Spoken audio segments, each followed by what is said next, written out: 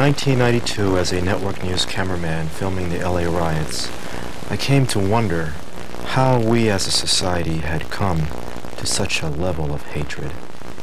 I decided to look back to a period of time, the 1960s, when people wanted human rights, when people thought they could change anything.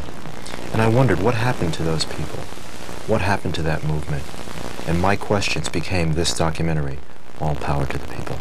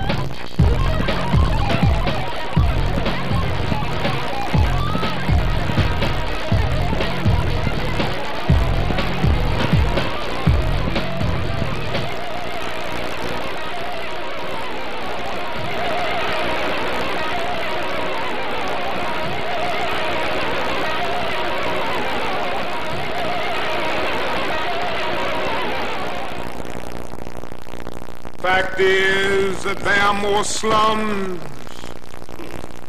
that Negroes are living in in the United States of America today than there were 20 years ago. Yeah. The fact is that the Negro is more covered up in ghettos today, more segregated in housing today than 20 years ago Yeah. The fact is that schools, particularly in the North, are more segregated today than they were in 1954 when the Supreme Court rendered its decision outlawing segregation. These are the hard facts. I'm not trying to solve these problems. We've got to rise up. We've got to organize. We've got to mobilize and we've got to work to solve these problems.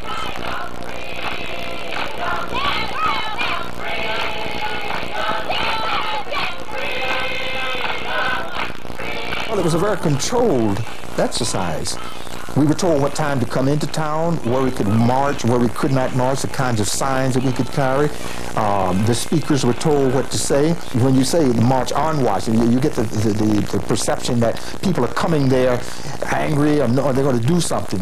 Uh, it was a picnic. The um, final thing was we heard Dr. King's I Have a Dream. So everybody was emotionally clapping and so on. I felt quite sad uh, as I looked at people because it was an empty dream to me. America has given the Negro people a bad check. A check which has come back marked insufficient funds.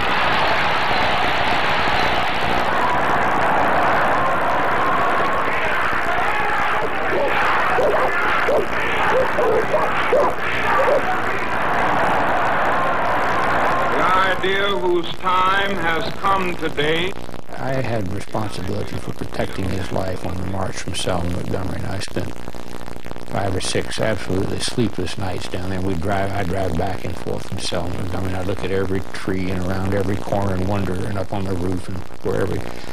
any sniper could be because I, I could feel the hatred drawn toward that place. It wanted to kill him. We had identified about 1,200 people who had histories of personal racial violence. I mean, they had tried to kill, they had assaulted, or they had murdered people on account of race, as far as I know, all whites killing blacks. And here they were coming. They were drawn like a magnet towards Selma and Montgomery.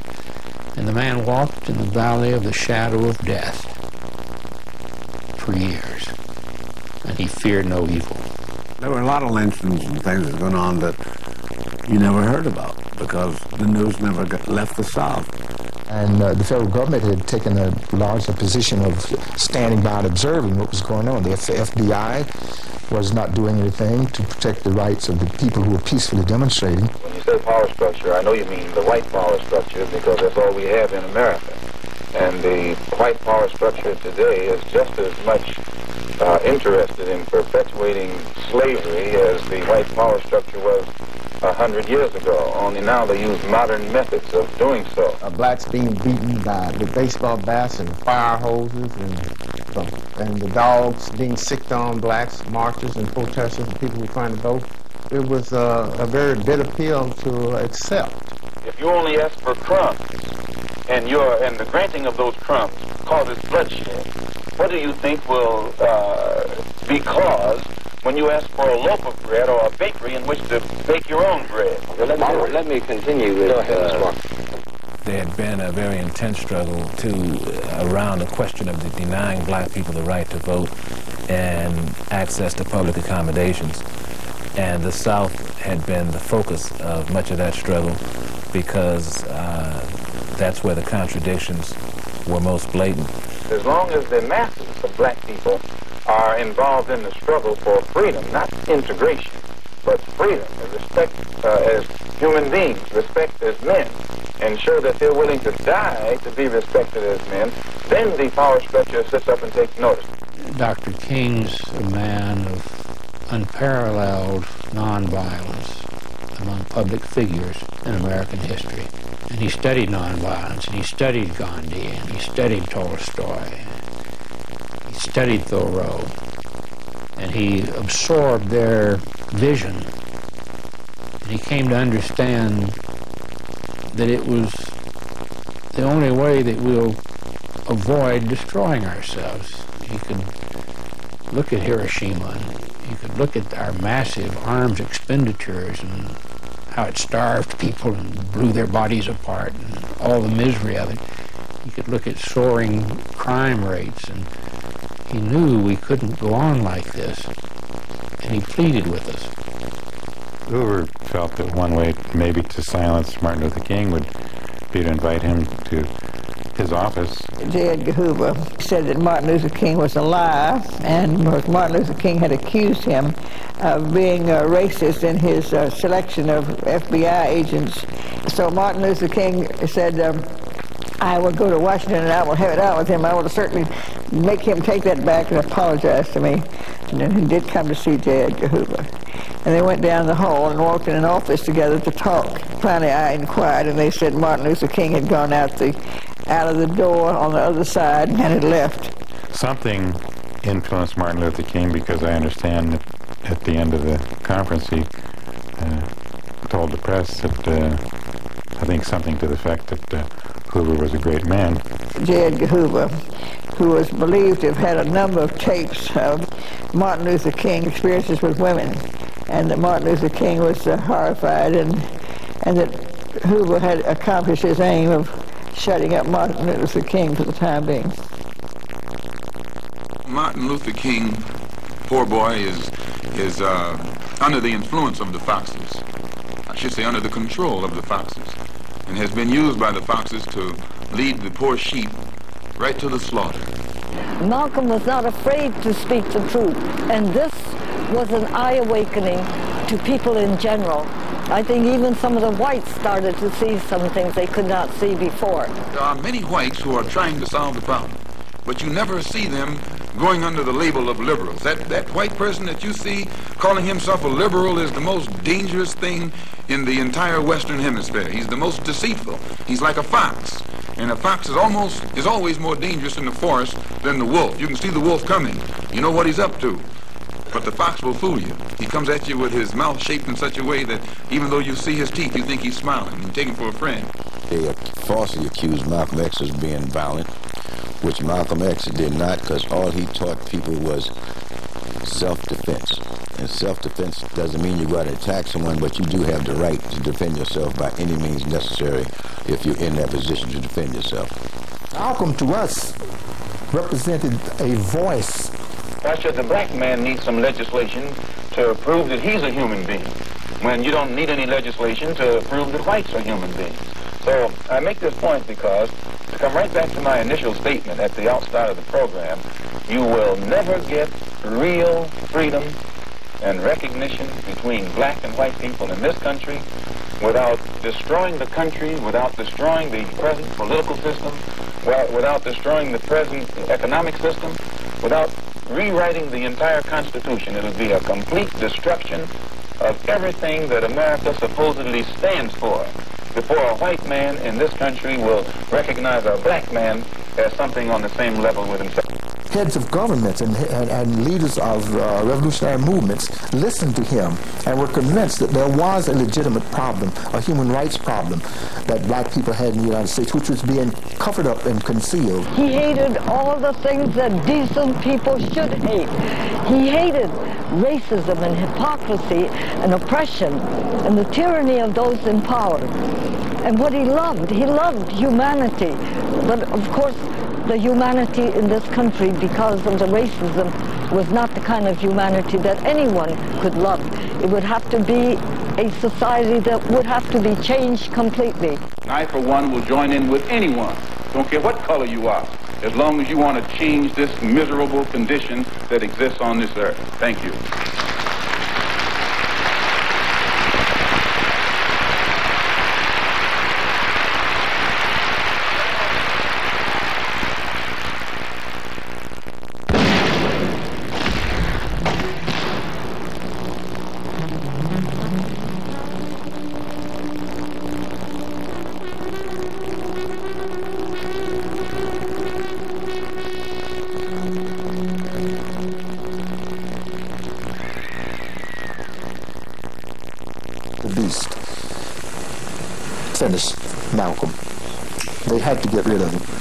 Malcolm was assassinated, I was at the Audubon Ballroom the day that it happened.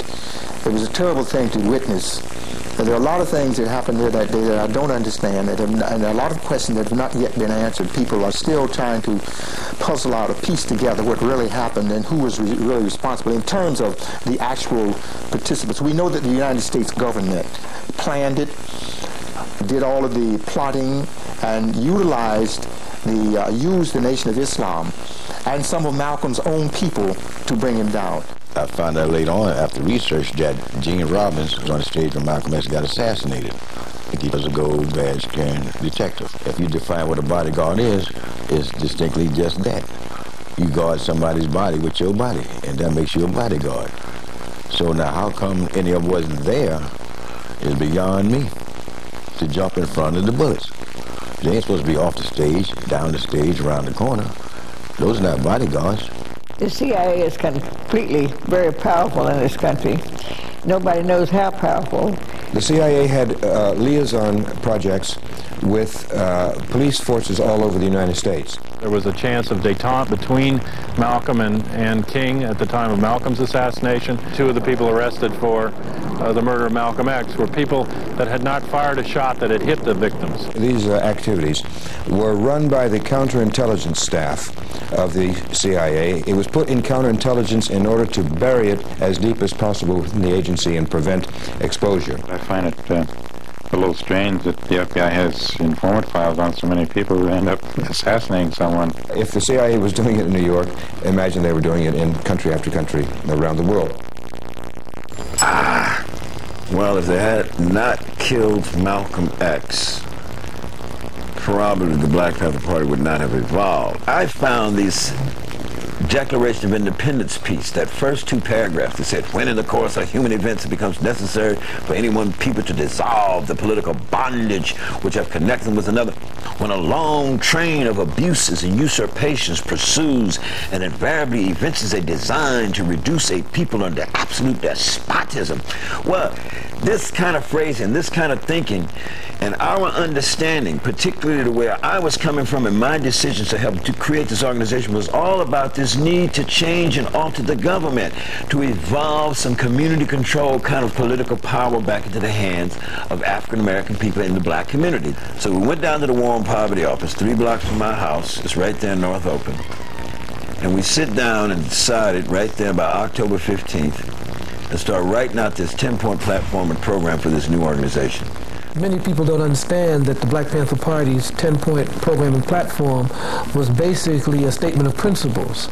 And it was around these principles that we organized in the black community. Point one said we want power. We want power to determine the destiny of our own community. And it went through a series of issues we wanted decent housing. We wanted to determine the destiny of our community. Decent education taught us about our true history. Uh, we wanted fair treatment in the courts, juries of our peers. We wanted to end to police brutality. We wanted a relevant education that taught us who we were and our role in society. Uh, we wanted land, bread, housing, education, clothing, justice, and peace. We wanted to organize political, electoral, black community power. The point was not to show what the government was not doing. The point was to show show the community how the community could empower itself and how the community could organize. So we wrote this program, 10 points of what we want, then 10 collateral points of what we believe. And these principles and, and stated uh, objectives of the Black Panther Party were the heart of its program. We still didn't have a name for this organization. I had gotten a pamphlet from the Lowndes County Freedom Organization. So I said, Huey, why they got this logo for this panther here? At another point that day, Huey said, you know, I think the nature of a panther is, is that if you push it in the corner, if it can't go left and if it can't go right, it's going to tend to come out that corner to wipe out the aggressor who pushed it in the corner in the first place. I said, that's what the racists have done, Huey. They didn't push us black folks in the corner. And we decided to name it the Black Panther Party at first, and then we said, well, wait a minute, we're going to take a position on self-defense. So me and Huey agreed the Black Panther Party for self-defense. So that was the night, October 22nd, the finalizing founding evening night. Because this is what happened. Huey was saying, okay, we're going to have to have some officers. So I flipped the chairman a coin, a silver dollar. I flip, I say heads, I'm chairman. Boom, it land on heads. I say, I'm chairman. I go ready to hand Hugh the silver dollar I pull back. I says, you don't need to flip. So Hugh say, uh, what do you mean I don't need to flip? I says, wait a minute, Huey. I says, only two of us. Oh, that's right. Uh, I said, you automatically minister defense. So I got chairman. Yeah. Huey and Bobby said we want an immediate end to police brutality and the murder of black people. That was rampant in the Bay Area, all over the country. It's always been a society of working class whites pitted against blacks. They had nothing else they could do but be police and try to come out of their uh, Oklahoma Dust Bowl, I'm going to kick your ass nigger kind of attitude.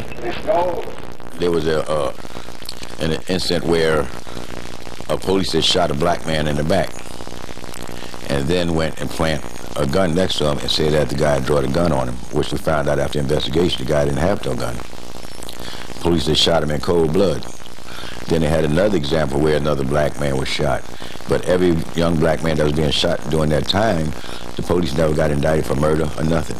If anything, they got a promotion. Oakland has one of the highest infant mortality rates among black people across the United States. Add to that miseducation, unemployment, police terror, and the rest. This all helped give rise to the Panther Party at, in that particular place at that time. The real first patrol was down on 7th Street in West Oakland, California, where 11 or 12 brothers that night. Huey, Bobby, little Bobby Hutton, Forte brothers, Sherman, who was also a part of that first cadre, and Elbert Big Man Howard. I'm telling Huey on the walkie-talkie because I'm riding in the lead car. Huey, we got a policeman down here. It's a lot of people down here in the corner. Let's get out here, man, because he's arresting somebody. We pull over. We park legally. We're a hundred and some feet away. We all pile out the cars. We're a well-organized group, and we're observing the police under the law, and we're not going to take any crap from them if they do try something. But we want to recruit the people. We're trying to capture the imagination of the people in the community to let them know. I think somebody I remember saying, what they got, sticks? Because, you know, it's dark, and people don't expect to see people with guns, black folks, right? And it's, it's nighttime, like. And somebody said, man, no, them some goddamn guns. And somebody said, I'm getting the hell out of here. Huey tells this brother who says, I'm getting out of here. He says, no, no, no, you don't have to leave. We're a new organization. We're the Black Panther Party. We're here to observe these police out here. We've been brutalizing our people in the community. So please stay. We researched the law. Everybody know we have a right to observe the police. Well, that got the police's attention. He stands up. You have no right to observe me, he hollers at Huey. But Huey says, no. Huey citing the specifics of the damn law. And some sister in the audience said, well, go ahead on and tell it. And another brother said, what kind of Negroes is these?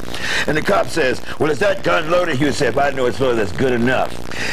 This scene, man, is a scene where bang, when Huey says, if I know it's loaded, that's good enough, it caused little Bobby to say, yeah, that's right, I haven't jacked around the chamber. And the other brothers with the long guns, and the cop turned around and saw all these people jacking the rounds off in the chamber. It blew his mind. He was awed. He stepped over to his arrestee. He opened the back door. Unconsciously, he protected the arrestee's head, put him in the car, shut the door. Then he stopped to look at the sister. And he was shocked because the sister had the earrings on. That well, female was even there with a big old 44 strapped down something like Clint Eastwood or something. Well, what are we doing? We passed out the 10-point platform program. Political education session meeting is at 2 p.m. at 5624 Grove Street up in North Oakland. Please be there, brothers and sisters, because we're going to organize some political, electoral, community power in the black community. That's how the Black Panther Party got started. The party was able, came on the scene at a time in which black people um, had become increasingly frustrated at uh, conditions in this country. Uh, the whole black revolt was, as far as I was concerned, a little late coming. They should have gone forth with their activities much earlier than they did. I came into the Black Panther Party uh, and knowing about the Black Panther Party uh, as a student at San Francisco City College, uh, you had people such as uh, Amiri Baraka, which was known as LeRoi Jones at that time. You had Kwame Ture, which was Stokely Carmichael at that time. And you had Rap Brown, and you had Sonia Sanchez, all those different people. It was through going through the Black House uh, I came in contact with some brothers named Huey and Bobby who used to come through there from time to time.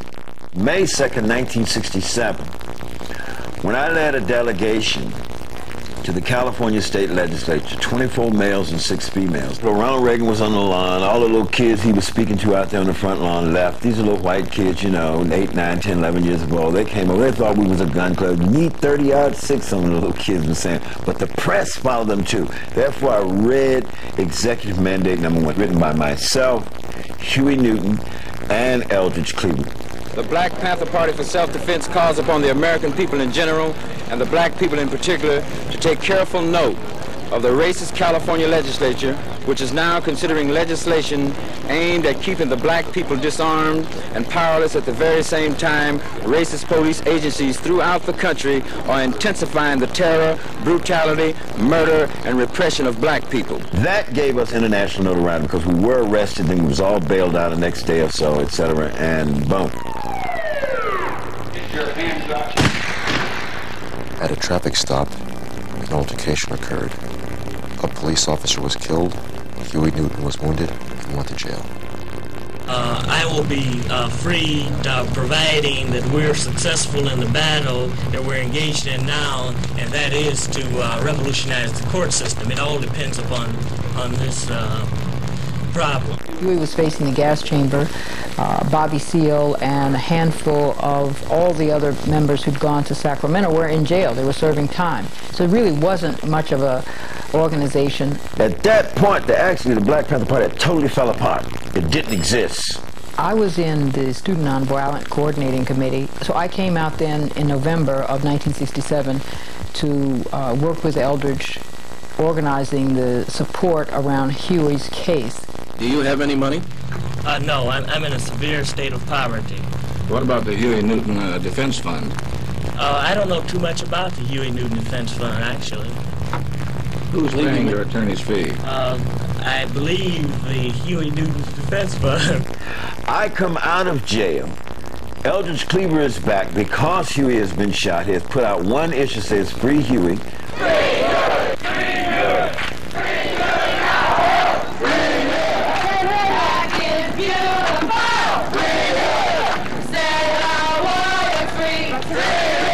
Peoples of the world are demanding that Huey P. Newton be set free. So in defense of our lives, for the survival of black people and human beings of the world, we all say in solidarity that Huey P. Newton must be set free or the sky is the limit around the world. I reorganize and restructure the party. I extend the rules of the party in a matter of two months to 28 rules. You know, I create uh, the captain and David Hilliard's position and stuff. I create all of this stuff. Black Panther Party has revived. It's changed its name from the Black Panther Party for Self-Defense to the Black Panther Party. It's become very widely acknowledged organization in the Bay Area.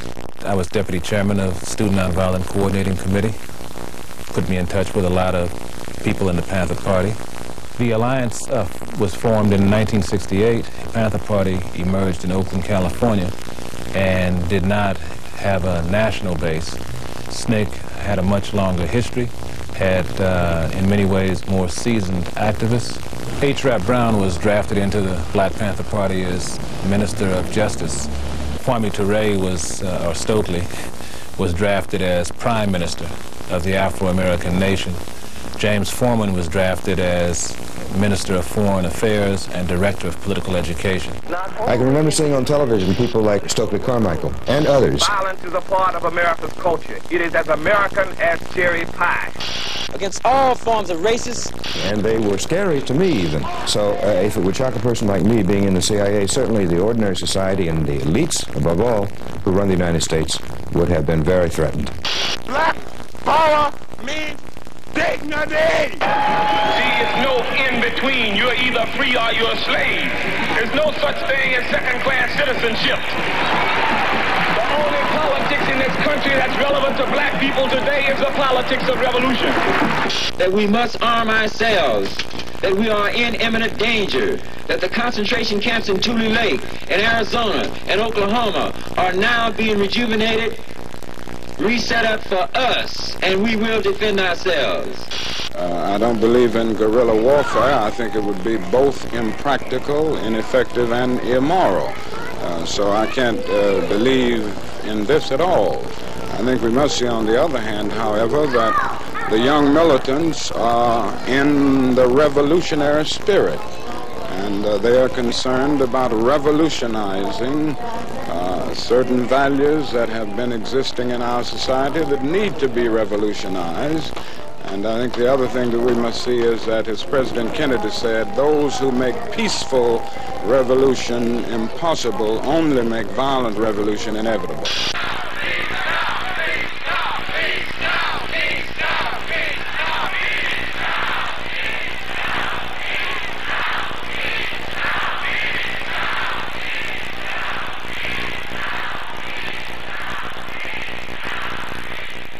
Because when we start saying the war is wrong in Vietnam, well, people looked at us like we were something out of space.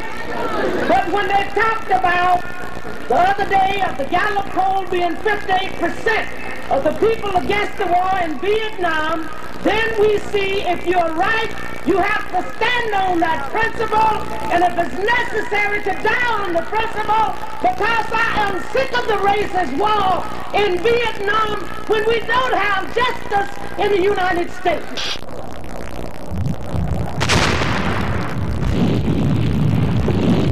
They're a bloody good bunch of killers.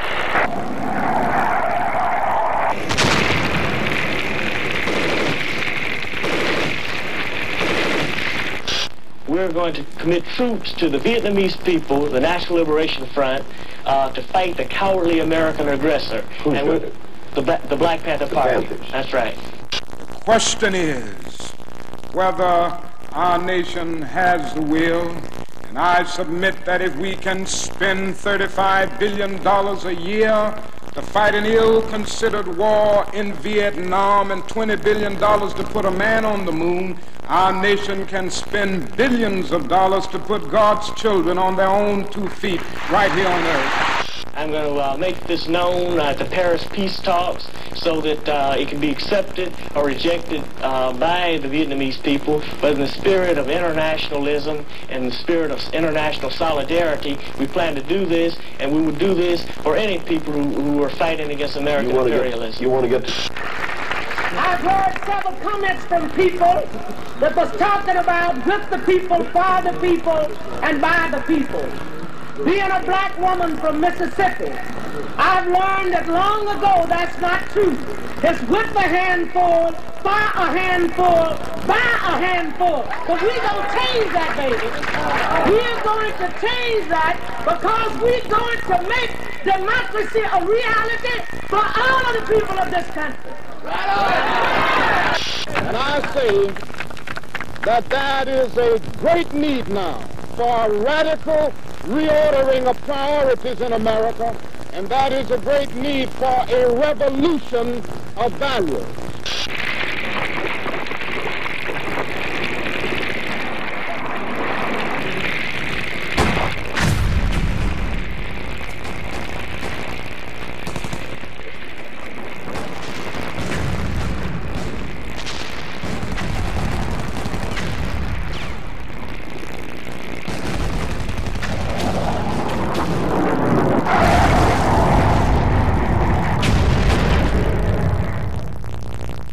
We've got some difficult days ahead. But it really doesn't matter with me now because I've been to the mountaintop. I don't mind. Like anybody, I would like to live a long life. Longevity has its place. But I'm not concerned about that now. I just want to do God's will. And he's allowed me to go up to the mountain. And I've looked over and I've seen the promised land. I may not get there with you, but I want you to know tonight that we as a people will get to the promised land.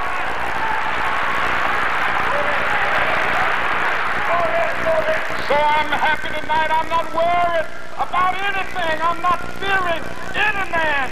Mine eyes have seen the glory of the coming of the Lord.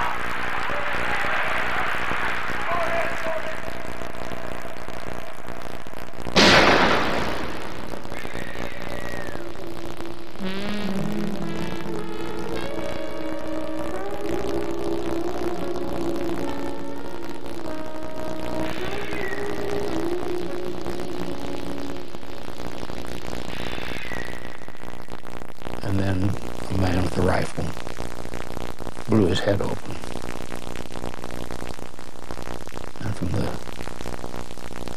apartments and, and ghettos and slums through America, and all the places he'd been, you put it on a map, and the places that Dr. King had been is where they came out in rage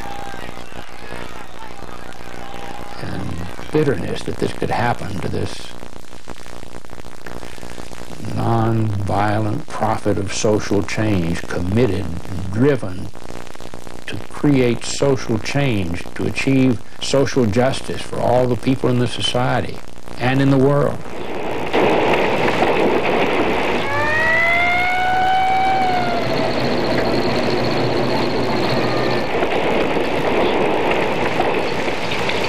West 57 feet.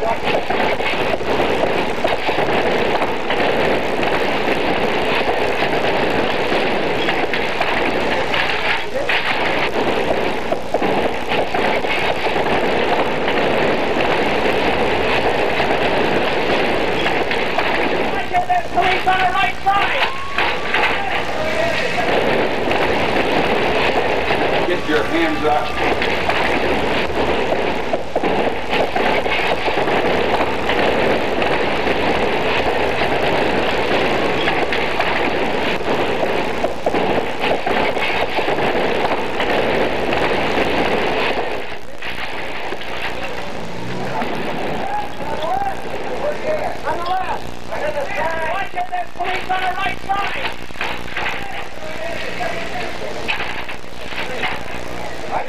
some were happy.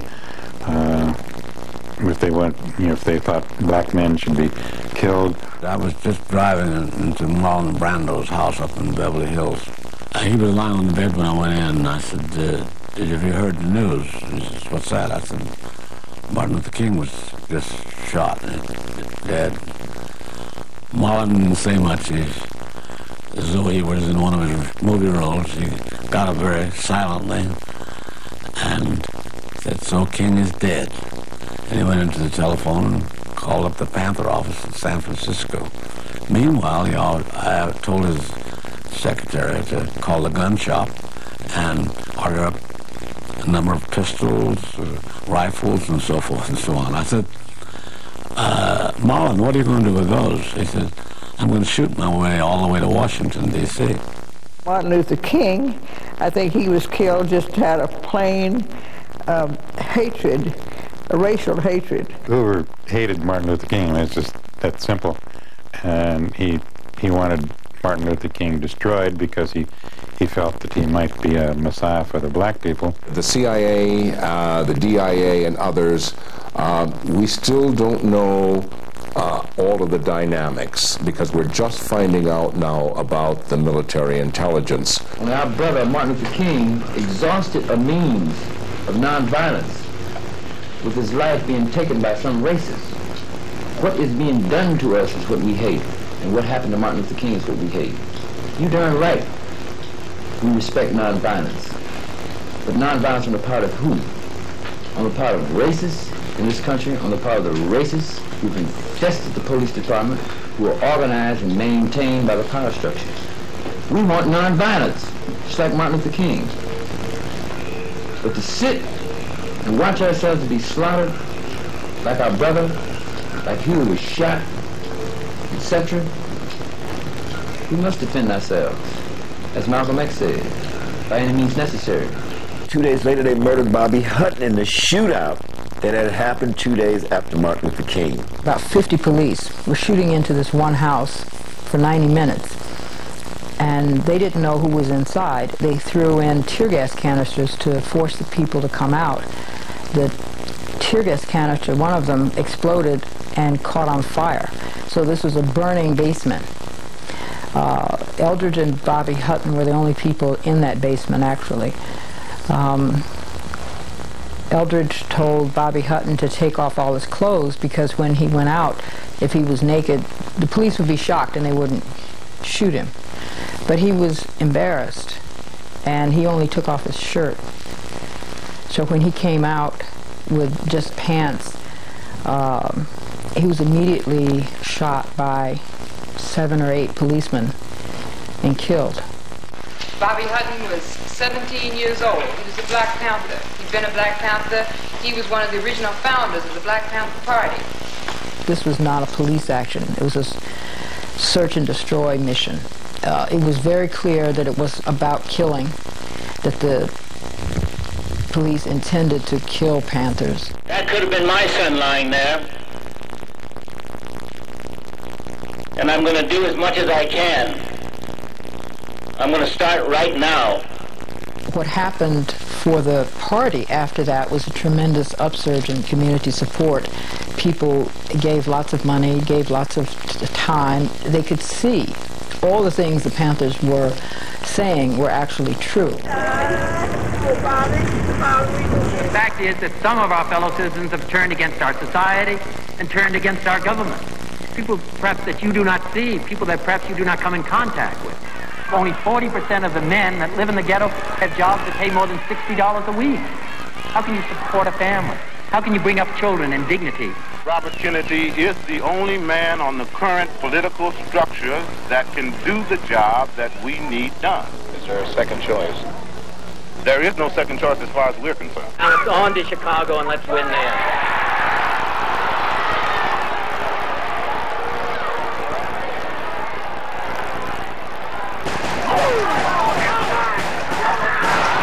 Kennedy has been shot. Is that possible? Is that possible? It could. Is it possible, ladies and gentlemen? It is possible. He has not only Senator Kennedy. Oh my God. Senator Kennedy has been shot. And another man a Kennedy campaign manager, and possibly shot in the head. I am right here. Rafer Johnson has a hold of a man who apparently has fired the shot. He has fired the shot. He still has the gun. The gun is pointed at me right at this moment. I hope they can get the gun out of his hand. Be very careful. Get the gun. Get the gun. Get the gun. Stay away from the gun. Stay away from the gun. His hand is frozen. Take a hold of his thumb and break it if you have to. Get his thumb. All right. That's it, Rafer. Get it. Get the gun, Rafer. Hold him. Hold him. Hold him. we don't want another Oswald.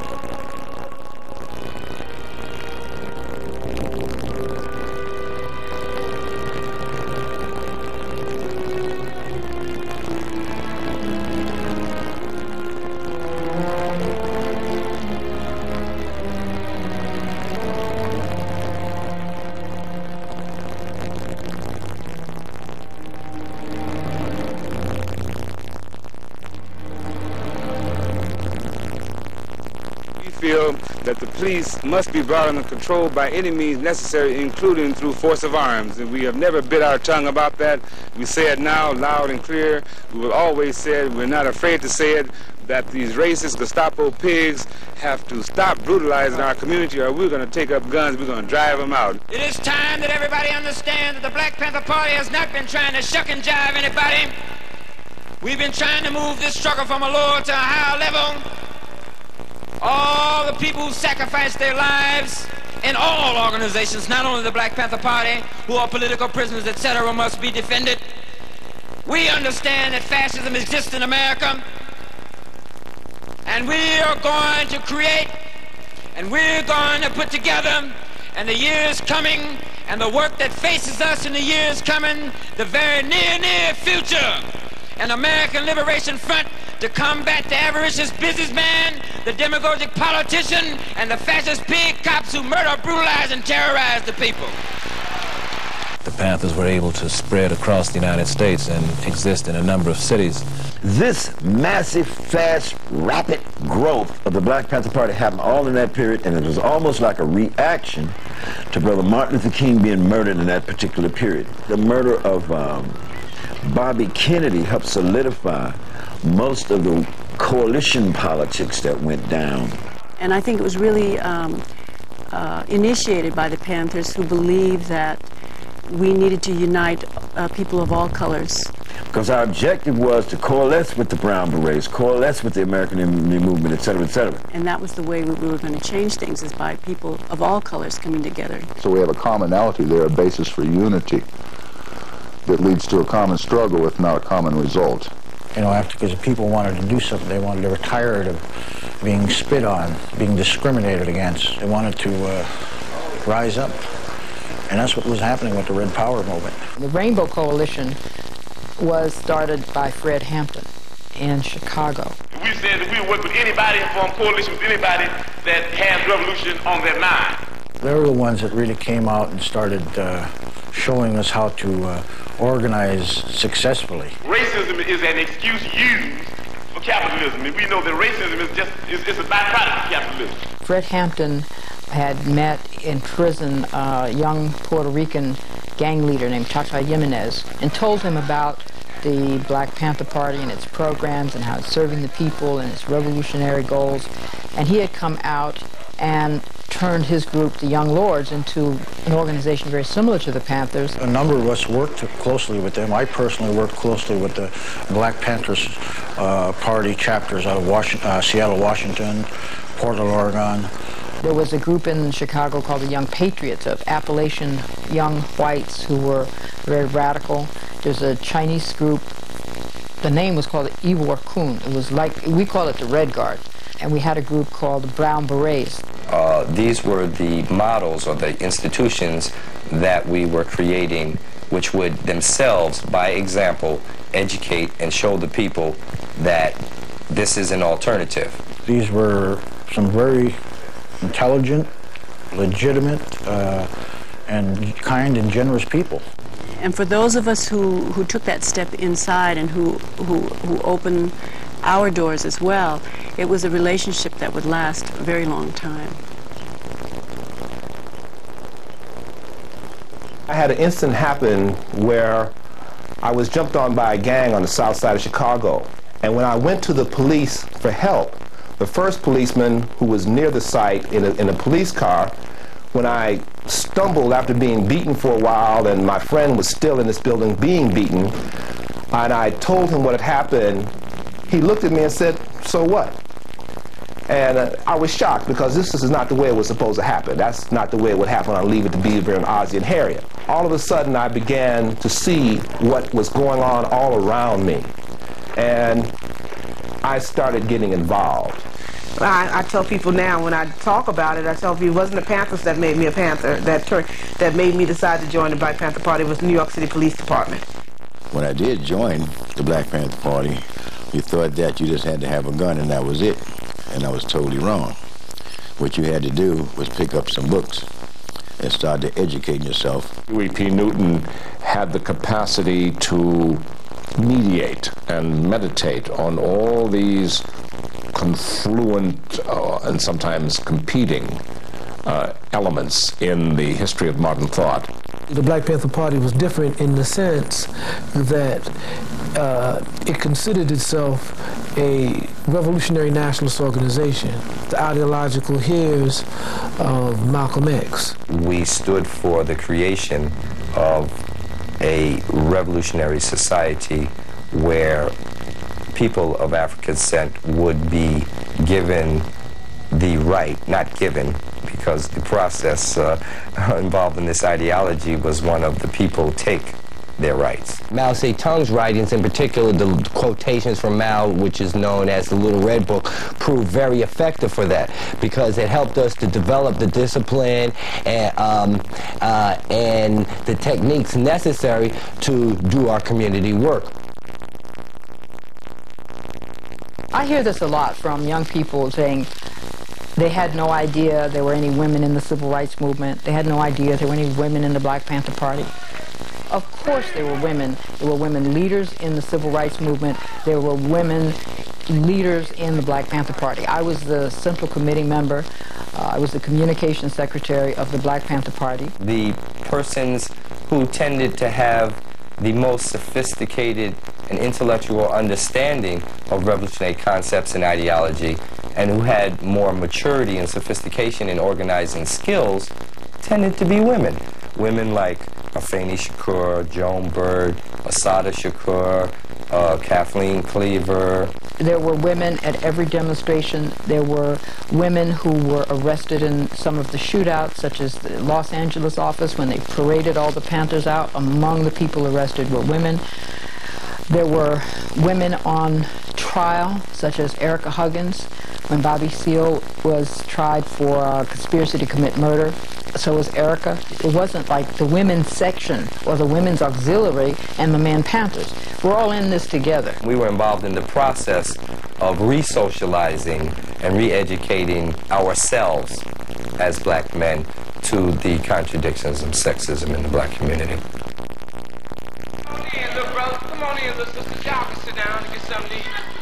This was a powerful thing that the, that the Black Panther Party was about. Again, with the programs like the breakfast program, the, uh, the health clinic, the prisoner visitation program. I remember the sickle cell anemia program. Check this out. In 1968, the Black Panther Party, sickle cell anemia was not noted in the United States like it is today. I mean, health care is essential to your life. And to be denied health care because you don't have the money to pay is like saying, well, your life isn't worth anything. And so to have this clinic available and the clinics that exist today because of what was started then, these clinics provide a service that is invaluable. We were constantly 24 hours a day doing something, working with our community and supporting our community and cleaning up our community. These are not the types of activities that are done by a gang. Jesse Unruh, who was the uh, treasurer of the state of California, said that the uh, Black Panther Party was feeding more hungry children than the United States government. But as far as the, the food program, we went out to the merchants in the community. We would ask them a simple question: How much of this money that you've made within the, in your business have you contributed back to the community? And 90 over 90 percent of them said zero. And we approached them for canned goods, or food, or day old bread, or or fresh food, whatever the case may be. So they donated. And that's how we got to serving people in the community who didn't have food or went to school on an empty stomach. And so at 5 o'clock in the morning, you'd have to get up from the Panther Pad over there and go over to this breakfast program, start up the stove and make the breakfast, and then make sure it's ready in a timely fashion. And it's a hot breakfast with the sausages and the eggs and the grits. And if it called for us to stay there and scrub the walls and do whatever was necessary, we would do that. We feed about 10,000 uh, across the country each day. Well, of course, we started our own programs too. You know, the American Indian Movement. We started, and but we patterned them after, after uh, the Black Panthers uh, organizations. We had free breakfasts, free. Uh, we built schools. We have our own clinics. Uh, we went into, of course, communications. A lot of the things that the Panthers did, uh, we patterned our ideas off of. You know the Young Lords Party and the Black Panther Party wanted every municipal hospital that serviced the poor in New York to have an acupuncture experimental center inside of their drug program. And because we were the first, we became targets. A hundred policemen came to the Bronx and arrested us and take, took us away from the center. When these efforts started to show a little bit of success, when the government moved in.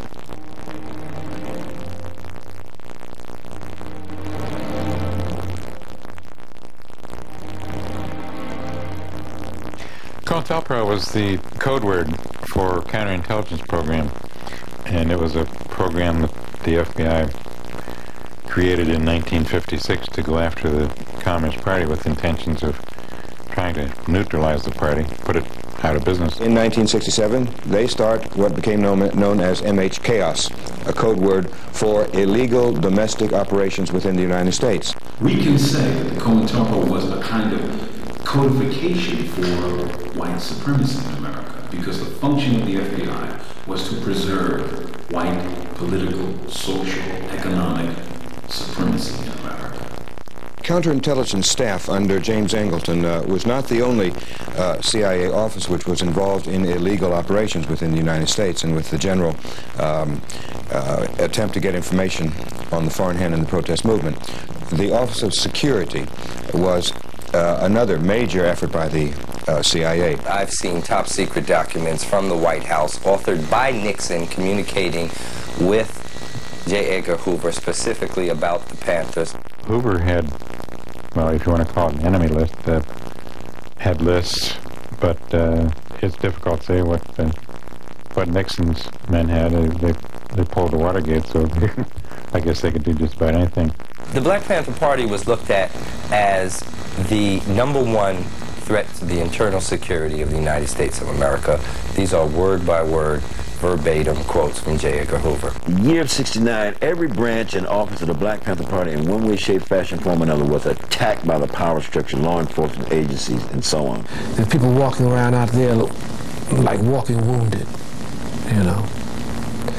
It's just like they've been in Vietnam. Victims of gun battles and sieges and, and isolation and torture and destroyed families and dead parents. And nobody knows about them and nobody really cares. And that story is one that hasn't been told yet.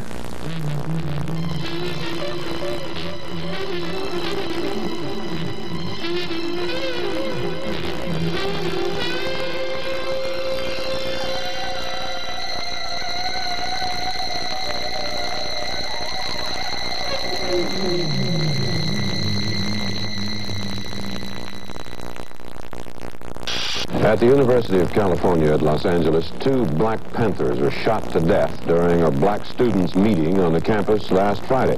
Two FBI informants in the United Slaves had uh, shot and killed uh, Bunchy Carter and uh, John Huggins on the UCLA campus. Uh, us organization slapped a member of Black Panther Party at the time, Elaine Brown. I was going with John Huggins, so when she told him that somebody from the US organization had slapped her, she pulled his pistol out. This is when the two brothers, or supposedly Stiner brothers, supposedly steps out from behind the doors and open fire and uh, kills John and, and kills Bunchy. And the FBI agent who was controlling two informants was concerned that some white students might have been shot on campus. The members of the US organization were taken from the crime scene with the FBI. The government or whoever, Power, COINTEL, whatever, they were able to kill a party when they killed Bunchy. When they killed Bunchy, uh, they killed the party. We just didn't know it.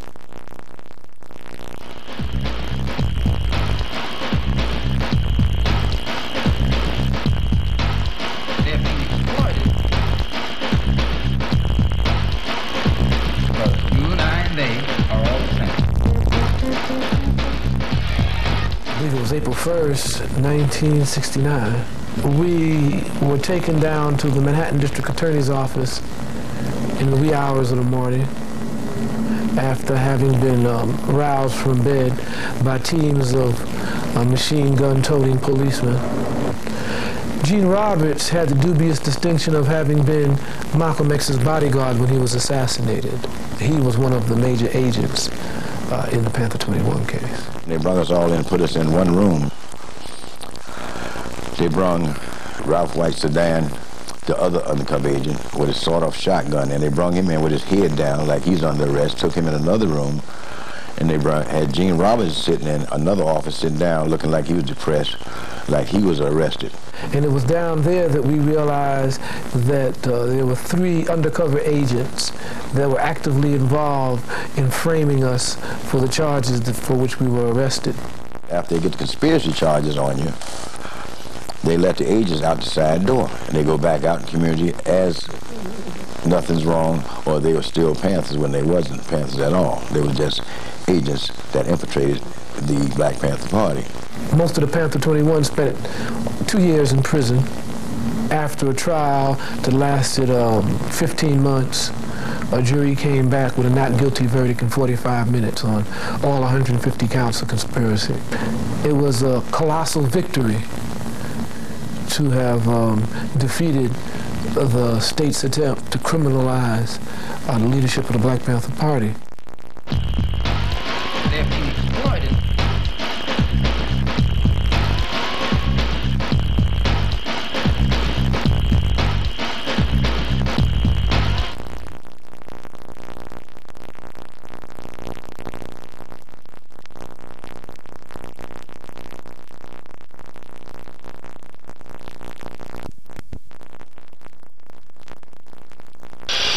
Eldridge Cleaver, the Black Panther leader who fled to Cuba to avoid being returned to jail, arrived in Algeria today to attend the Pan-African Cultural Festival in Algiers.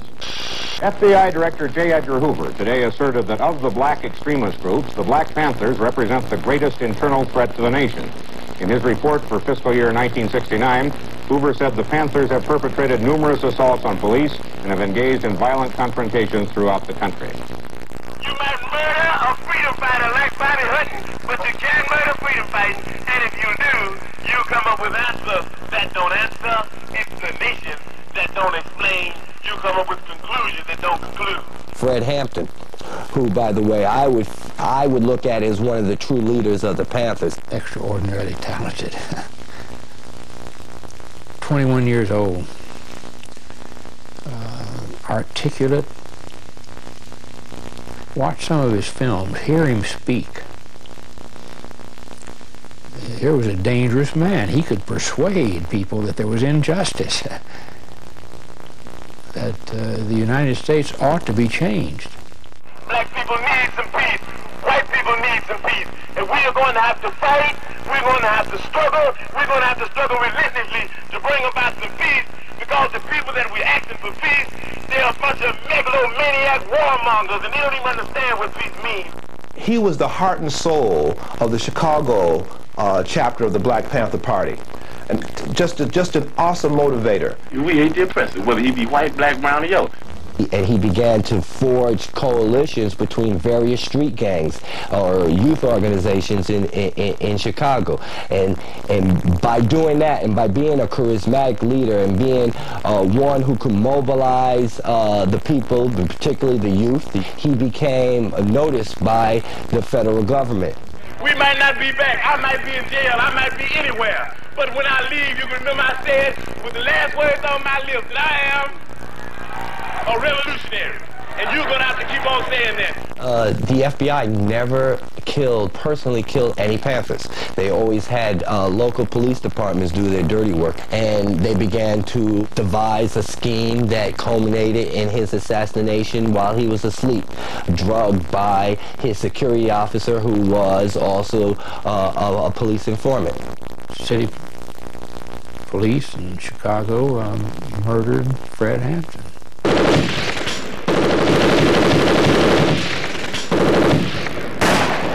It had happened apparently about 4 o'clock in the morning on December 4th. I didn't hear about it until 6 o'clock that night because I wasn't in town. And they popped this picture up on the screen.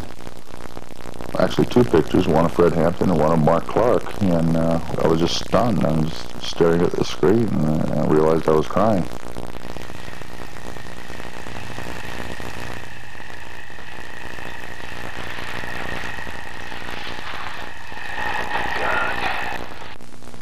They shot that place up in ways you couldn't believe. His wife, pregnant, shot up in the bed there. She survived, as did the fetus, but Fred's body was riddled.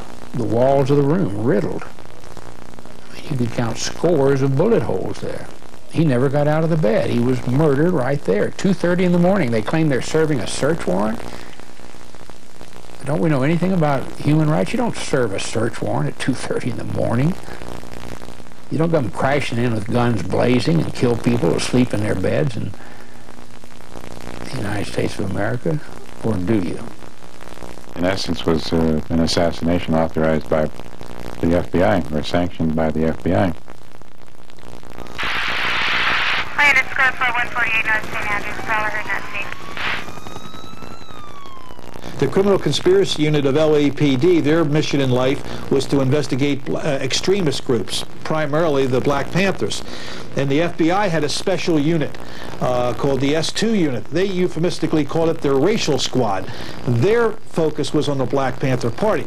So the FBI's um, racial squad and the LAPD's uh, criminal conspiracy section worked literally hand in hand in bringing down the, the, the LA uh, Black Panther Party and its leadership, Pratt in particular. When uh, Bunchy Carter and John Huggins had been assassinated, uh, Pratt became the, the leader of the Panthers, and now the FBI had to get rid of Pratt. Geronimo Pratt was a Vietnam veteran. He'd been a paratrooper and won many medals in Vietnam, including a Purple Heart. He trained all the Panthers in Los Angeles on how to defend the office against attack. He was the defense minister.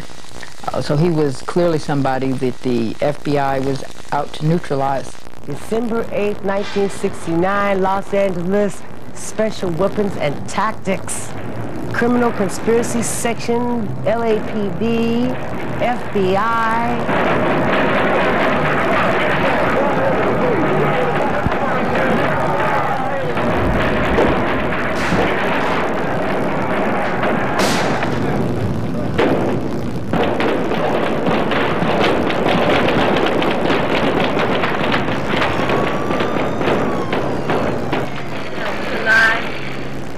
Black Panthers, as we all know, were destroyed as an organization through these illegal FBI operations. And uh, certainly the CIA violated the privacy and the rights of thousands upon thousands of Americans through the illegal operations which they agreed to do under Richard Helms as director. Any and everything was done to members of the Black Panther Party to destroy not only the Black Panther Party and other organizations, but to demoralize people, to discredit us in the eyes of the people, to criminalize our existence in the consciousness and minds of the people. It's physical violence and torture per se. There's nothing modern about it. And there is nothing sophisticated or scientific about it. It is the base against which psychological warfare has its meaning. We went to interview Dr. Mutulu Shakur, who had cured thousands of drug addicts with the experimental treatment of acupuncture. We found him in an underground prison. The Black Liberation Movement in 1969 lost something like 43 people were killed and something like 785 people were arrested and put in prison. In any other country with the population that New African people represent, in any other country in the world, that would be considered war. We went to interview Mumia Abu Jamal, the Peabody Award winning journalist. We found him awaiting execution on death row. In essence, when one looks at the aims and objectives of the federal government through the FBI, by way of the COINTELPRO program, what one really sees is a war against black America, a war against um, any, uh, in the words of the files, in fact, the emergence of a black messiah who could lead black America.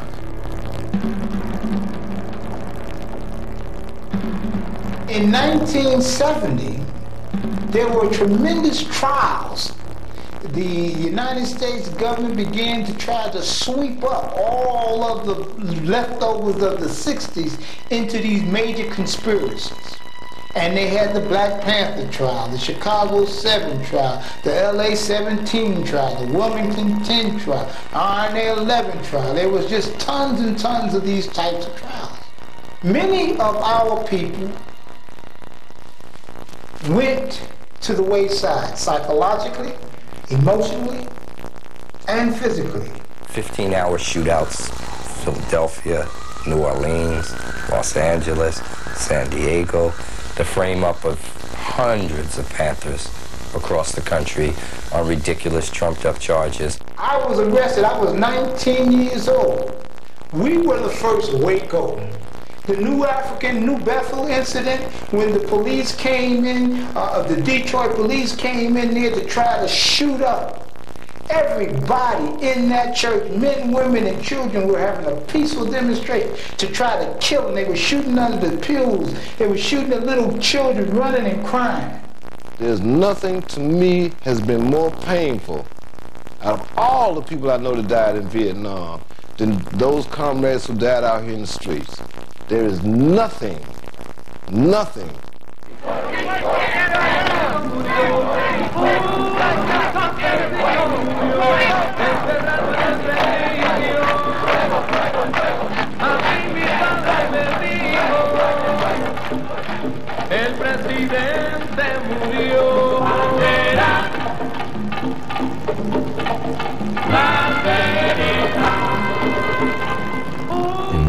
1970, my good friend Julio Roldán of the Young Lords Party was killed in the New York prison called the Tombs.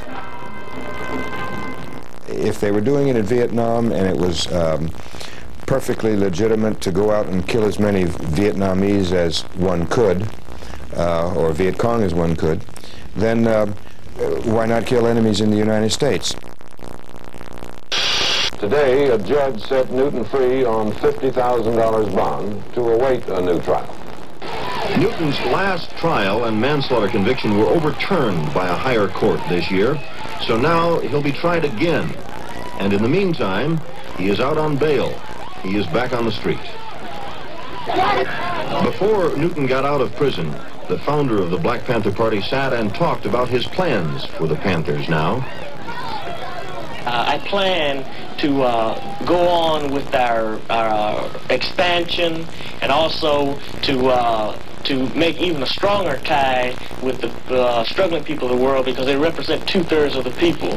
J. Edgar Hoover today characterized the Black Panthers as the most dangerous and violence-prone of all the extremist groups now active in the United States. There were forces afoot trying to undermine the relationship between not only myself and the leadership of the Black Panther Party, national leadership, but between the various forces within the Black Panther Party who wanted to make the Black Panther Party more responsive and democratic, and those who wanted to maintain the Black Panther Party as an extension of, of, of autocratic control of a Central Committee. The Central Committee of the Black Panther Party, when I come out of jail, I reorganized it again. Huey was actually opposed to this. I says, no, we have to have a broader Central Committee. Because when I come out of jail, Huey was sitting there with him and David, he went to jail, and Elaine Brown and a couple of other people and said, this is our Central Committee. And I says, Huey, this whole uh, supreme commander crap has got to go. And these are the private conversations I had with Huey, you know. So my point becomes, he was trying to absolutize himself. We had we had felt that um, all the contradictions that was happening between David Hilliard and all the other people in the party, the central leadership and the breakdown in centralism and all that, would be resolved when Huey came home. When Huey came out, uh, Geronimo remained a member of the Central Committee. For whatever reason, uh, Huey, uh, after he got out of jail, uh, he wanted to have the total control of the party, but the way the party was set up with the Central Committee, uh, that was uh, impossible. Uh, Geronimo, being one of the strongest uh, personalities on the Central Committee, uh, just had to be eliminated. It was around this time that Elmer Geronimo Pratt uh, was um, was captured and branded as a as a um, agent by David Hilliard and the Central Committee of the Black Panther Party on the West Coast. Of course, this was a total fabrication. Geronimo was not an agent. In fact, the um, the individual who pointed the finger at Geronimo and declared him an agent, Melvin Cotton Smith, was himself a police informer, an agent, who was assigned to Geronimo by David Hilliard. A split apparently has opened in the leadership of the Black Panther Party. On a San Francisco television talk show, Huey Newton, in the studio, talked with fugitive Eldridge Cleaver, speaking by telephone from Algeria. Cleaver said a purge of Black Panther members is tearing the party apart, blamed it on David Hilliard, and demanded the ouster of Hilliard as Panther Chief of Staff. Many of those confrontations, both on the West Coast and between the East Coast and the West Coast, happened because of the COINTELPRO program, what they call Program Brown Mail. They would write to one person and sign their letter. They would write to another person and sign each other's person's signature. And it really cracked the Black Panther Party in two by creating two factions. All of this was happening at the same time that Huey Newton was planning his itinerary to come back east, and the government used the hysteria and the paranoia around these issues to give Huey the impression that the New York Panthers were unloyal to him. They wrote to people in my name, signed my signature. And these were crazy letters that were written by the FBI. And Jeff Fort got a letter from Chairman Fred. Of course, they thought those letters were from each other. And the, the tone of the letters were um, incendiary. Or you're a punk. Uh, if I see you, I'm going to, you know, shoot you. Uh, you're a coward. If you had guts, you would come down here. I mean, it was, it was literally an attempt by this government to incite violence. COINTELPRO was the whole cause of the split between the different faction in the party that caused the death of Sam Napier. In terms of the actual physical integrity and well-being of the Panther, Sam Napier might have been the most important person. Uh, the newspaper was the most important entity and tool uh, and institution that the Panthers had. And he was in charge of the paper. The loss of Sam Napier wasn't just the loss of a person who um, who was a paper salesman. It was like a spirit in the party, a strong, positive spirit that permeated the whole party. Uh, and uh, you lost a, you like a friend, a brother. Robert Webb was the ranking Panther on the entire East Coast. He had the rank of Field Marshal, which was a Central Committee position. It was an underground secret rank. The police knew who these people were. The police knew that they had orchestrated this conflict. and they gloated over it in their documents when they said that they could take credit for, for the murder, for Robert Webb's murder, and that they could take credit for the irreconcilable differences in splitting the Black Panther Party. When Huey Newton came to the Northeast, we in New York were responsible for his security. The government knew this through their agents and through the mail. They sent um, threats, death threats to Huey Newton, purportedly coming from us on the East Coast, saying that, uh, you know, we were faithful to Eldridge Cleaver and that when Huey came back east, we were going to kill him. And it was up at Yale University that Huey Newton uh, sort of like got extremely paranoid. I was told that I was suspended from the Black Panther Party for threatening his life. So life is very tough, and uh, a funny thing happened to all of us on the way to the grave. Huh?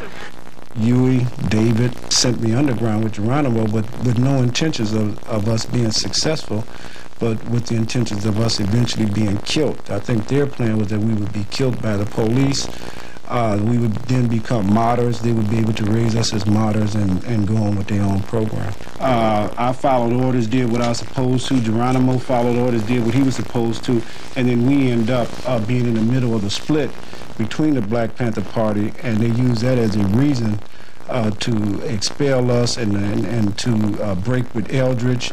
And at the same time that this was going on, the Panther 21 in prison were contemplating writing an open letter criticizing um, the leadership of the Black Panther Party um, around various issues. There was only two things that could happen. That if we could either do spend the rest of, go to prison or, or the cemetery. Um, and knowing that people like Twymon Myers and Robert Webb and Sam Napier, Fred Bennett, and Fred Hampton had made the ultimate sacrifices. That meant that we could either back up and, and give up and let them win, or we could struggle against it. On one end, we had the, the um, Huey people who were out to do us in, and on the other side, we had the government who was out to kill us. So we, we were in between the, the rock and the hard place. Out of that came the birth of the underground, the Black Liberation Army, the armed wing of the Black Panther Party, whose stated purpose was to start and initiate an offensive military campaign against the forces of reaction.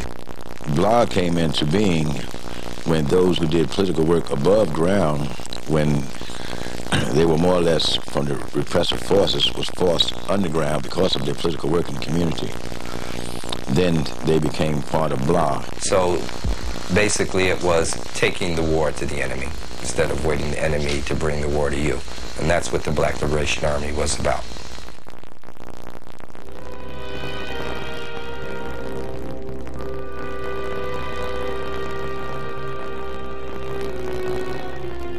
The public at large has a hard time understanding how often innocent people are wrongly convicted. Los Angeles Police Department, the DA's office, and the FBI were determined that Pratt should stay behind bars. And so they tried to find some other case to bring against him. And they finally decided on an unsolved murder case called the tennis court murder that came out of Santa Monica and charged him with this on the basis of some shenanigans involving a FBI informant named Julius Butler. Julius Butler said at Pratt's trial he was not an FBI informant. We have a ton of material that clearly indicate that Butler was a um, an FBI informant. As an example, here we have an FBI Federal Bureau of Investigation, August 19, 1969, and all the information he was giving the FBI during that interview. Of course, the FBI is going to place itself in a position of being able to deny whatever happens, just the way uh, they're denying that uh, Julius Butler is, was an informant. Butler said that he has written a letter containing information relating to an involvement of BP members in an affair that could put them in a gas chamber. And they had a, an informant file, and Butler was contacted about three dozen times, but they said, well, he's not an informant. Butler said that he was expelled from the BPP in August of 1969. At Pratt's trial, he said he was not expelled, that he quit. Now, according to FBI's own records, their own telephone tap, they later realized that Geronimo Pratt was in Oakland at the time of the tennis court murder. The ballistics person uh, came in and testified that the bullet taken from the victim did not match uh, ballistically the barrel of the gun.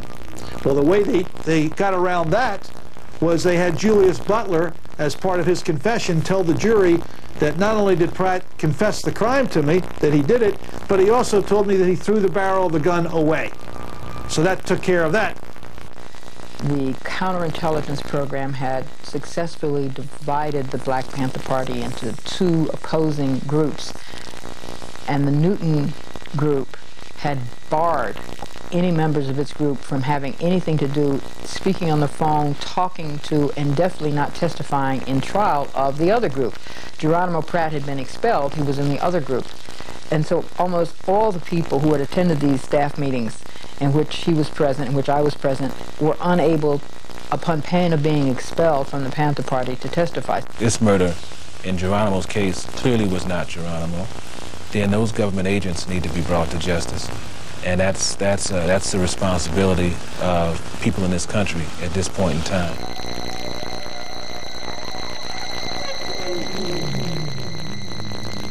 The FBI has considered an attempt to try to smash the Black Panther Party. They stopped actually attacking us. Didn't mean they didn't have no covert crap going on. Infiltration of cocaine into the Black Panther Party, its leadership, uh, Huey P. Newton being the main target. And every once in a while I say, I says, you, why are you snorting this cocaine? This ain't the thing. Now, I don't say this because I'm trying to destroy Huey's character.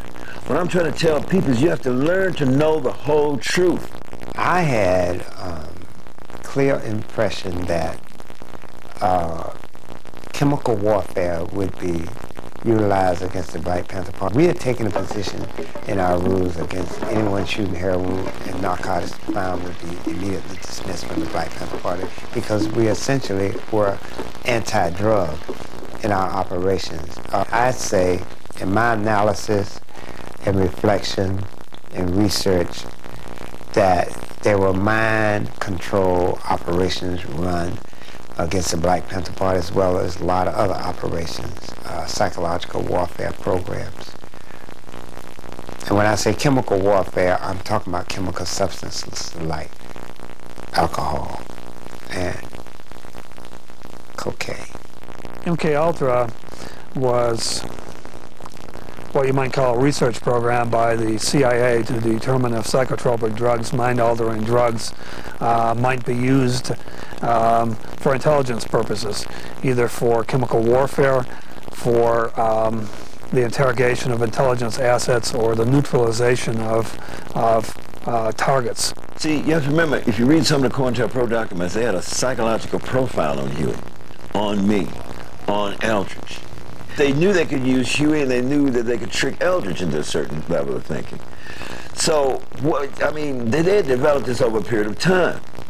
Now, here we got a situation where you got some party members that talk to me that they believe Huey got duped in to, on a small scale level, methodologically destroying the party. And uh, the party basically went from a people's organization to Huey's private army. That's basically what happened. It was agreed that I would run for mayor of Oakland.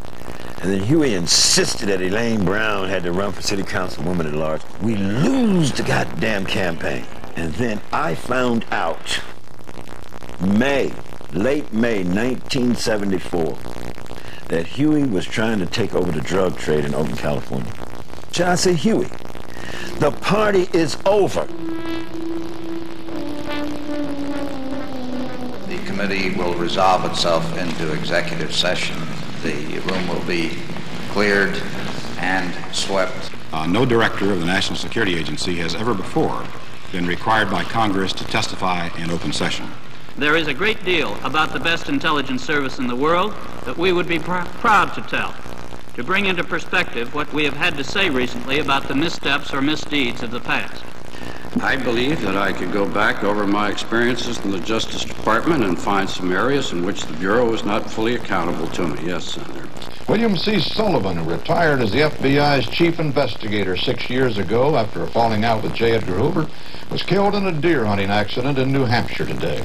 Sullivan was 65. Bill Sullivan, who was the number three man in the Bureau in charge of Division 5 Domestic Intelligence, expressed extreme remorse to me about his role in a suggesting an anonymous letter to um, Martin Luther King for Dr. King to commit suicide a week before he was going to be called upon to testify before the House uh, Committee on Assassinations. Uh, he was out in a pasture near his uh, New Hampshire home, and he was mistaken, supposedly, uh, for a deer by a young man out hunting, and uh, was killed. I understand from uh, the news media that the son was an experienced hunter and I don't know how an experienced hunter could mistake a man who's dressed in a red plaid jacket for uh, the head of a, a deer. I mean, I have never seen a red deer, but you know maybe they're out there somewhere. But if I could get a virtuous woman,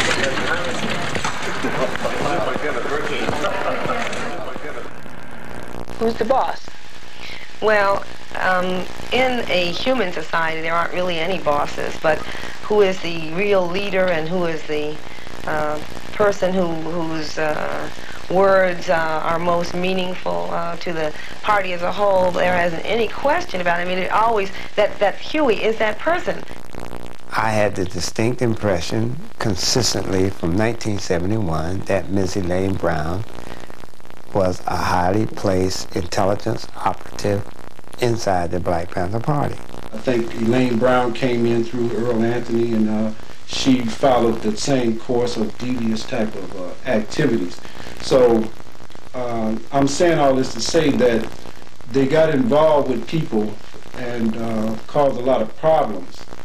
But we was aware of it. We just wasn't aware of the extent that the LAPD the federal government with its COINTEL, the CIA, FBI, we wasn't aware to the extent that these people were involved. She acknowledges in her own words, in her book, Taste of Power, that in fact she had been educated, groomed, taught at the hands of a longtime Central Intelligence Agency operative, J. Richard Kennedy, who anyone can find out about in David Garrow's book, The FBI and Dr. Martin Luther King. So many party members literally have told me they believe this, that this woman was connected some kind of way and got step by step, piece by piece, got Huey hooked over into some notion that he could get more money behind the scene if he step by step methodologically demised the Black Panther Party. We've always wanted to represent the will of the people. They're not interested in socialism at this time because they believe that they can get their just desserts in this capitalist system. When they, when the people democratically want a change in system uh, to a socialist system, then the party will be uh, the first to uh, have solidarity. John Stockwell, former station chief of the CIA in Angola, he said, well, I want to say this to you very clear.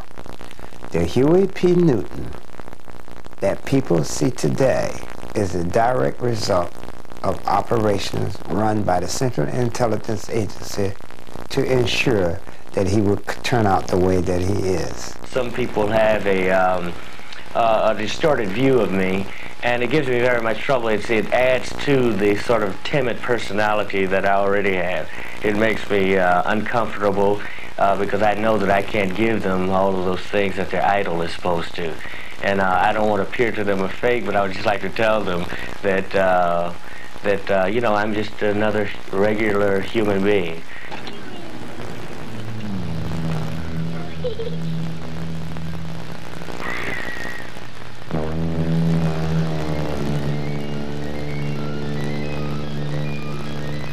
Huey P. Newton was never the same. He eventually became Dr. Huey P. Newton, PhD.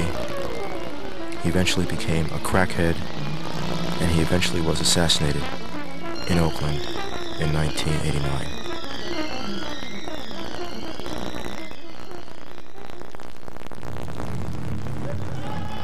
In the course of our journey, we discovered that certain individuals involved in the demise of the Black Panther Party were also the same individuals who were involved in the demise of the American Indian Movement.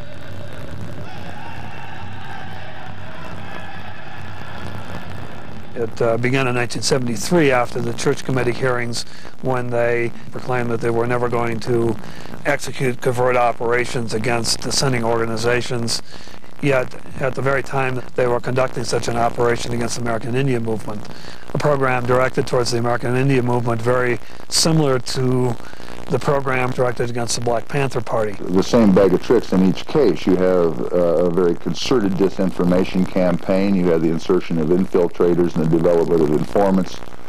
Uh, the use of the infiltrators as provocateurs, attempting to convert bona fide activists into provocateurs or disruptive elements within their own organization. They literally would unleash death squads to make sure that the people who were living on the $1,200 a year in the tar paper shack would continue to live on the $1,200 in a tar paper shack. One of the personnel who were involved in persecuting and later framing Geronimo Pratt was also involved in the um, fabrication of evidence to convict Leonard Peltier. This was uh, an FBI agent by the name of Richard W. Held.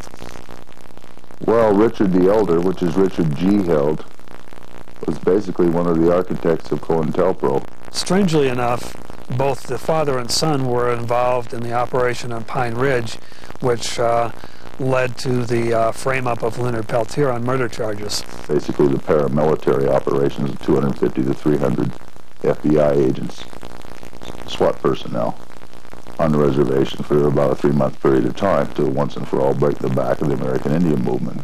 Armored personnel carriers with heavy machine guns, M16s wearing camouflage uniforms, um, overflights by uh, Phantom F-4 reconnaissance jets and Huey helicopters and uh, remote sensing devices. It was very much like what was deployed in Vietnam at that time. When the people went into Wounded Knee, there were chiefs and elders and some of the American Indian Movement members. These were the Oglala people.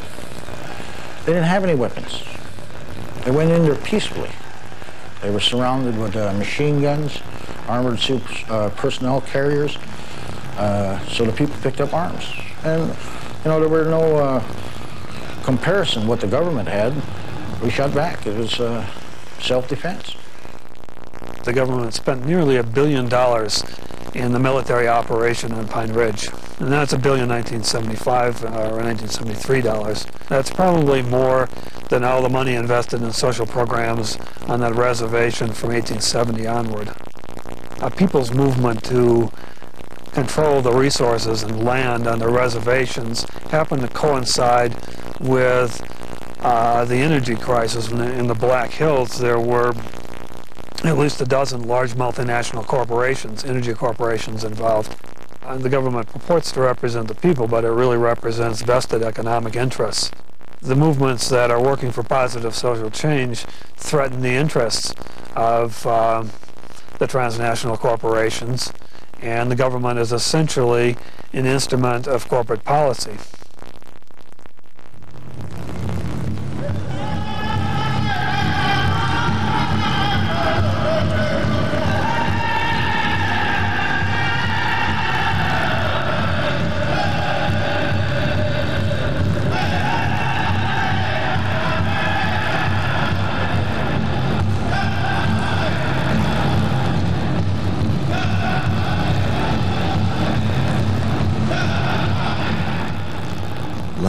Leonard Peltier, leader of AIM, the American Indian Movement, had been in jail for 20 years. We finally got permission to interview him. Three days after we saw him at Leavenworth, he was moved. No one knew where to. Leonard Peltier is a prisoner of the longest war in the history of the United States. That's the war against the indigenous people of the United States. He didn't shoot anybody, he didn't kill anybody, yet he was convicted because two FBI agents had been killed, and somebody had to pay. The question then becomes what is he in that cage for? And the answer is to serve as an example. An example of the arbitrary ability of the government of the United States to repress the legitimate aspirations for liberation of Native people, all Native people. He serves that purpose. So long as he's there, even though it's known that he's not guilty of the specific offense which he was convicted. He's been sentenced to two life sentences. But finally, they admitted in the last um, argument of the case in November 1992 and that they didn't know who shot the two FBI agents. They said it several times in different ways without any ambiguity. We don't know who killed the agents. We don't know who fired the fatal shots. and yet here's Leonard Peltier serving these sentences. We're addressing President Clinton to give clemency to Leonard Peltier in the name of simple justice. Now.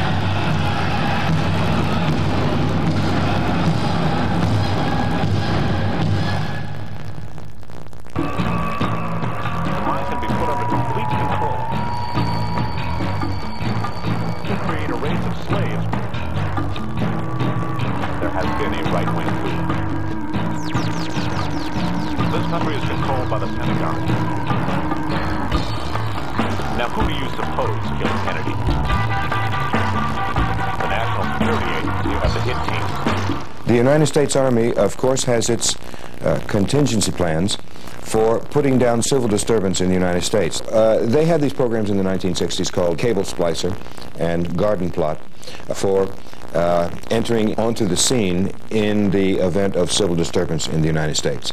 Uh, these activities continued on into the 1980s, uh, but the main agency that became involved in the on the civilian side was FEMA, the Federal Emergency uh, Management Agency. The FEMA has created a great deal of paranoia, probably for very good reason. Their their whole reason for existence is to uh, is to take control and keep things going in time of a crisis of you know earthquake or military crisis.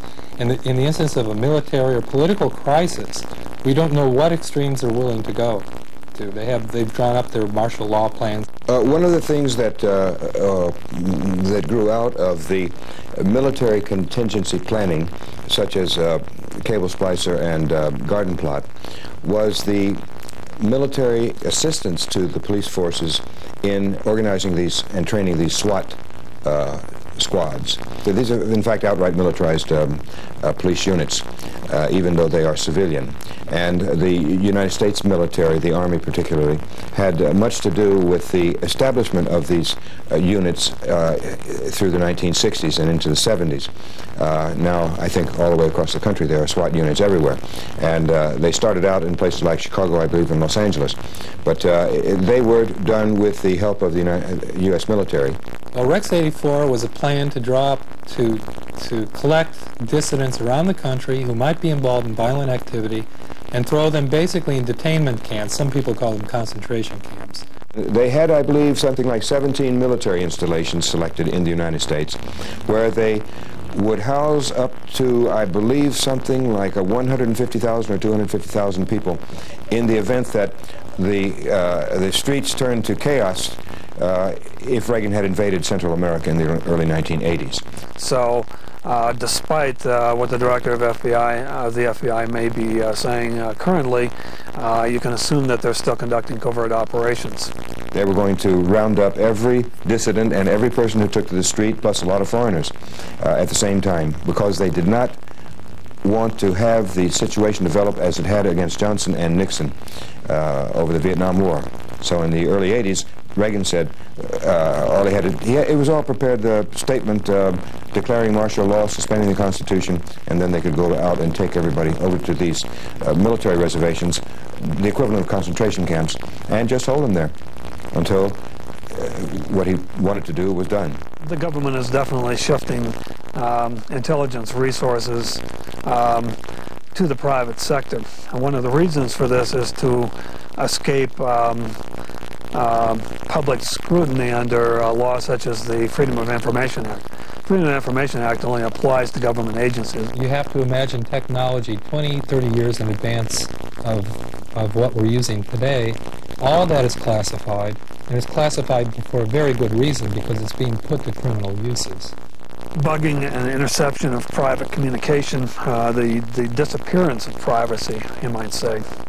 Um, what's going on now is that there are large private corporate databases accumulated uh, that accumulate information on uh, individuals, track their activities, track their uh, economic activities. Their, uh, these corporations would call themselves uh, credit corporations or um, whatever, but they're essentially intelligence operations.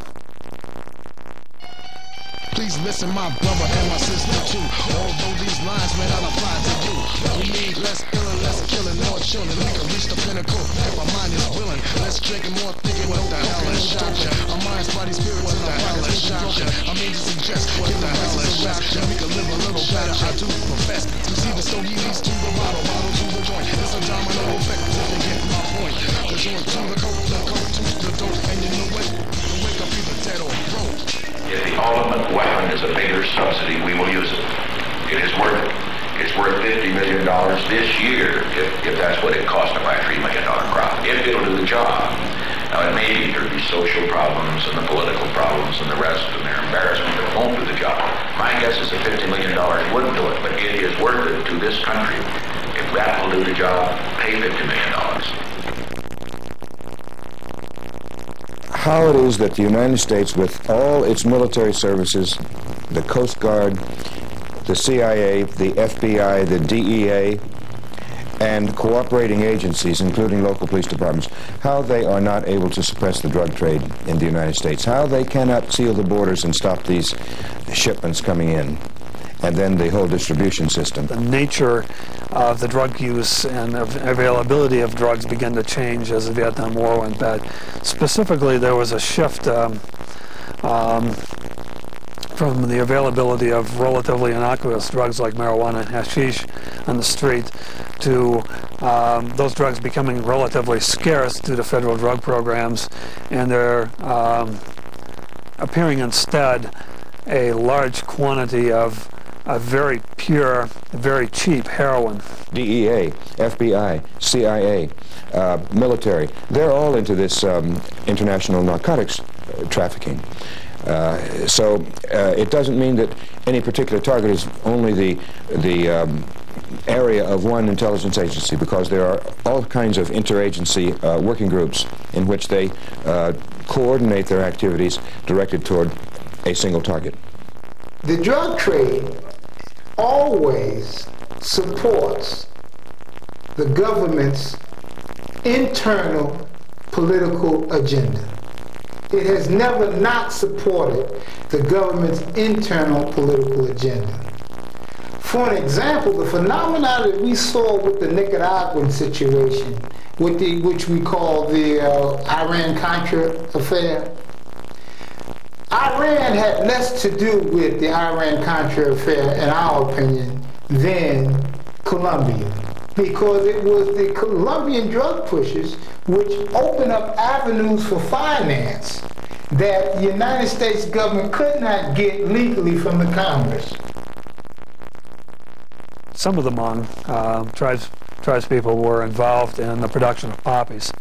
And uh, under the CIA, that production greatly increased, and the revenues um, from the sale of those drugs, which were flown out by CIA proprietary airlines, were used to further finance covert operations by the CIA.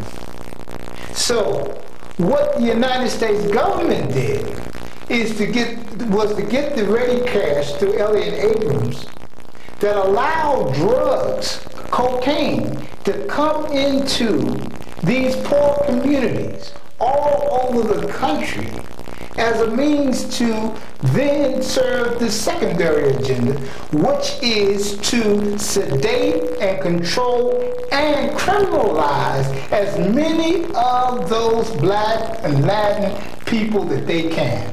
One of the effects is to take totally out of the political picture a whole generation or two of young black males who either get involved in the drug trade and end up in prison or who get involved in consumption and do not get involved in politics.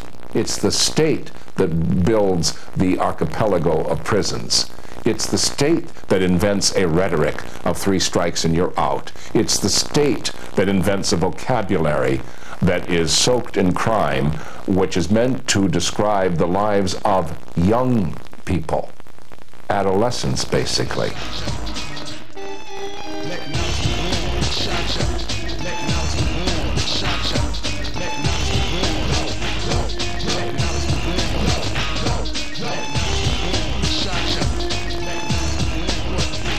I've spent 19 years in prison in the United States for my political beliefs.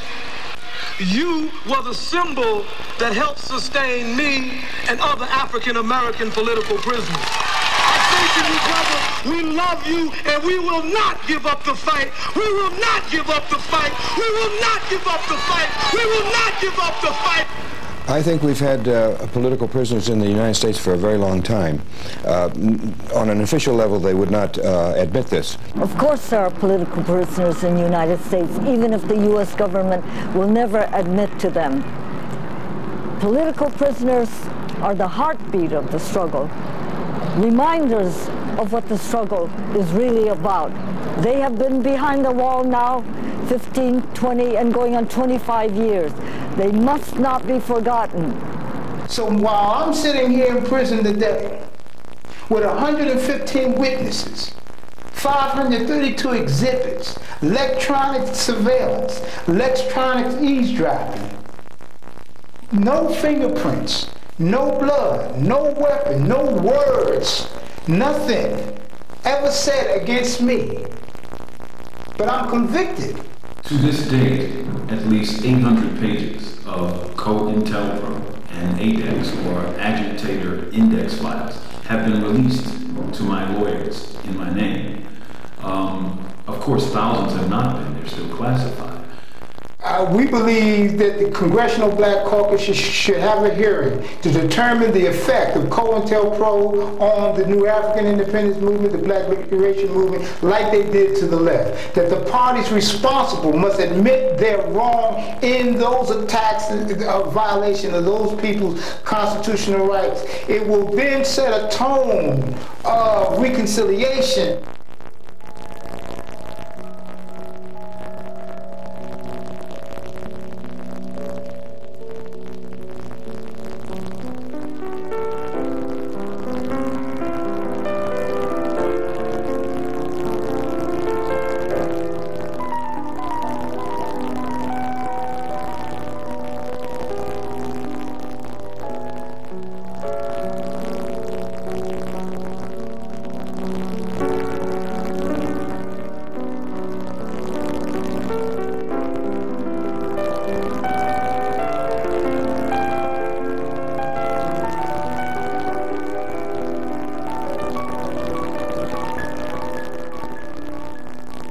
Single stone or a grain of sand, as we are each individuals, if we change ourselves, if we do one small thing, it's much better than uh, people trying to do big things and for their self-aggrandizement. Government and the system, the industrial forces that are a plague on Mother Earth, that are destroying the water, um, the air, the earth itself, the genetic material within us all. Um, it isn't just destroying it for uh, people in Africa or people in Southeast Asia um, or people in Latin America. It's destroying it for every being on earth. And I mean every being. I don't mean every man, woman, and child. I mean every living entity. All through history, no matter how much power has surged through totalitarian, through empires, rulers, and conquerors, whether they be governments or individuals as dictators or despots or tyrants, history has always shown that the human spirit will always prevail. We do not exist as individuals. All of us have a mother and a father. So we come from a collectivity of these two beings. We cannot ignore that and say, well, I am. Um, there is no I am. There is only we are. We are collective. All of us breathe the same air. Um, we share the same sunlight. Um, the feelings that I have in my heart are feelings that you have in your heart. We share spiritual vibrations. Love is natural. Hate is unnatural. Hate breeds hate. So what you know, but I have never known where you have overcome hate with hate, but you can overcome hate with love and respect. I'll just say it in the words of Bob Marley. Stand up for your rights. Don't let anybody tell you what you can and you cannot do. You can organize, you can educate, you can make a difference. We have to learn how to sit down and talk with each other first. Until we can sit down and speak with each other, sit down as, as men and women, uh, sit across from each other and break bre bread, and to learn that we're, we're human beings. I don't care you know, how, how low uh, you, uh, you are considered a, a, uh, in poverty or what national, nationality or, or how rich you are. Uh, until we can learn to sit down with each other and discuss the problems, uh, we're not going to uh, be able to accomplish that. Revolution is, first of all, change, personal change, personal transformation. Revolution is not a word to be afraid of because revolution is ultimately the most natural thing in the universe. Revolution is speaking truth to power. It is people recognizing their historical identity and their future uh, duty and necessity to transform this reality into a better reality. Um, I just want to be sure that uh, everyone knows that I still have the fire in the belly, that I'll do what I can to be as productive from here as I can, that I have legal cases that will put these issues in the public record and we will continue to uh, uh, share that with whoever, and that the international community should know that the New African Independence Struggle and the struggle for justice is live and well. It's dormant, but here comes the wind. Free Mumia.